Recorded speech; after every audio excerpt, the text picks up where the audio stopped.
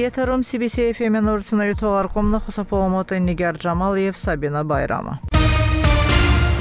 Ադրբեջանի զինված ուժերում բարեփոխումները լավ արդյունքներ տվեցին։ Այս մասին հայտարարել է նախագահ Իլհամ Ալիևը ՆԱՏՕ-ի գլխավոր քարտուղար Յենս Ստոլտենբերգի հետ հանդիպումից հետո մամուլին համար համատեղ հայտարարության ժամանակ։ Մենք արդյականացնում ենք մեր պաշտպանական ներուժը եւ այսօր կարող ենք դրսեւորել պրոֆեսիոնալիզմի բարձր մակարդակ, հավելել է պետության ղեկավարը։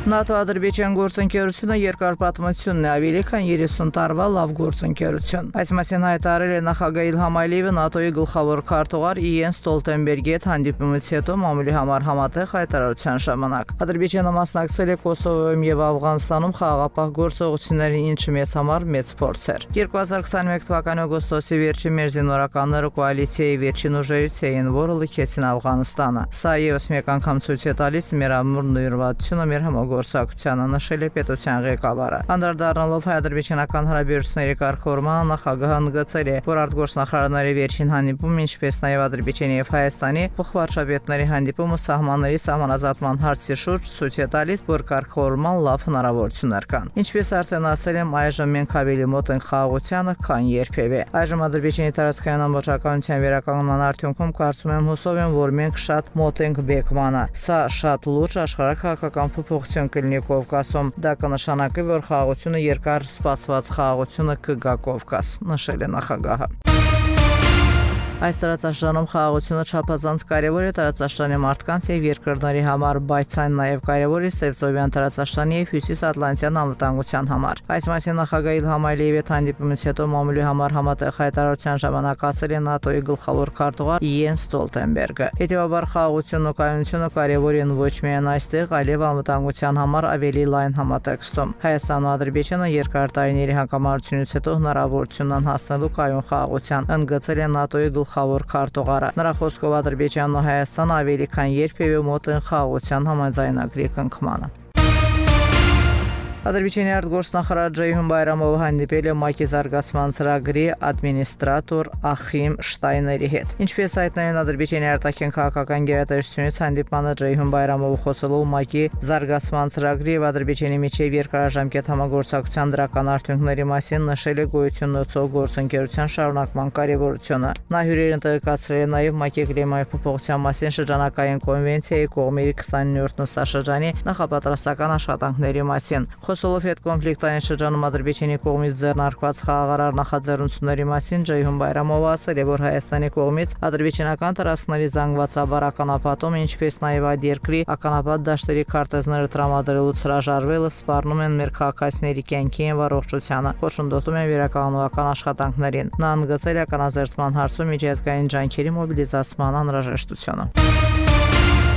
Եվրախորհրդարանի մի խումբ կոռումպացված եւ ռասիստ պատգամավորներ մշակութային ժառանգության պահպանման պատրվակով զրպարտել են Ադրբեջանին եւ փորձել միջամտել երկրի ներքին գործերին։ Այս մասին ասված Արեմտյան Ադրբեջանի համանքի հայտարարության մեջ կապված Եվրախորհրդարանի մի շարք պատգամավորների ելույթի հետ։ Բոլորին հայտնի է, որ Հայաստանի իր տարածքում եւ Ադրբեջանային տարածքներում, որոնք ժամանակին օկուպացրել է, համակարգված եւ զանգվածաբար ոչնչացրել Ադրբեջանստանին պատկանող մշակութային ժառանգությունը։ Հայաստանի տարածքում հողին են հավասարեցրել 300 մսկի կետներ, հարյուրավոր գերեզմանատներ եւ բազմաթիվ այլ մշակութային հուշարձաններ։ Հայաստանը թույլ չի տալիս ՅՈՒՆԵՍԿՕ-ի առաքելության այցելել այդ վայրեր վերահսկել ադրբեջանական մշակութային ժառանգության վիճակը։ Ադրբեջանին սնացնելու եւ կրոնական վեճեր հրահրելու փոխարեն Եվրախորհրդային երեսպաշտ պատգամավորները պետք է ջանքեր գործադրեն, որպեսզի ՅՈՒՆԵՍԿՕ-ի առաքելությունը այցելի Հայաստան դադարեցնի ադրբեջանական մշակութային ժառանգության հուշարձանների ոչնչացում այս տարածքում եւ վերականգնի ավերածները եւ ամենակարևորը աջակցեն Հայաստանի սատարված 300 հազար արևմտյան ադրբեջանցիների հայրենիք վերադարձեն նշվում է փաստաթղթում։ Նախագահ Իլհամ Ալիևի հանրությամբ շարունակվում է նախկին հարկադիր տնահանվածների վերադարձը վերականգնված Ֆիզուլի քաղաք։ Այսօր Բաքվի Ղարադաղի շրջանից Ֆիզուլի քաղաքի ուղևորվել վերադարձվող քաղաքացիների հերթական կարավանը։ Այս փուլում հարազատ քաղաք է վերադառնում եւս 34 ընտանիք 123 մարդ։ Այսպեսով Ֆիզուլիի մշտական բնակություն հաստատած ընտանիքների թիվը հասել է 596-ի կամ 2245 հոգու։ Ադրբեջանը ու Իրաքը քննարկել են երկկողմ տնտեսական կապերը։ Այս մասին X սոցիալական ցանցում գրել է Ադրբեջանի էկոնոմիկայի նախարար Միքայել Ջապարովը։ Իրաք այցի շրջանակներում մենք հանդիպումներ կանցկացնենք այդ երկրի կառավարության ներկայացուցիչների հետ եւ կքննարկենք երկկողմ տնտեսական հարաբերությունները, ասվում է հրապարակման մեջ։ Դուք լսեցիք CBC FM-ի լուրերի թողարկումը, հետևեք մեր լուրերի հաջորդ թողարկումներին։ Իսկ այժմ եղանակի մասին։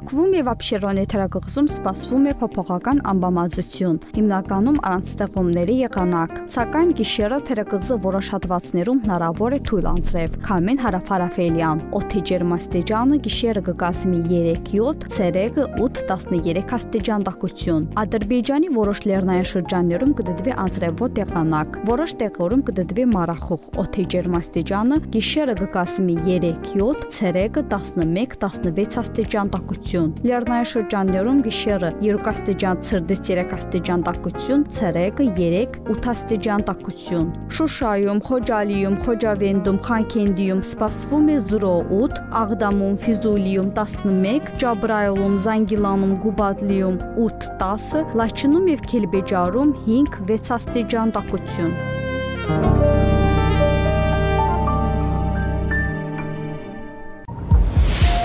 102.7 FM